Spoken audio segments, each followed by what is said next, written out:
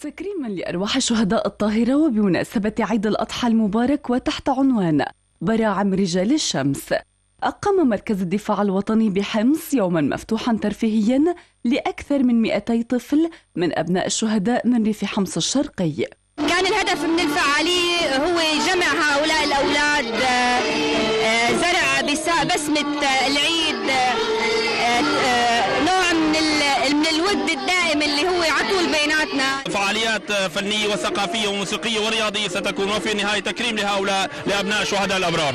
الفعالية تضمنت ألعاب رياضية والسباحة ومسابقات وتكريم أبناء الشهداء الذين أعربوا عن سعادتهم موجهين المعايدة لأبطال الجيش العربي ومتمنين أن يعم الأمن والسلام أرجاء سوريا.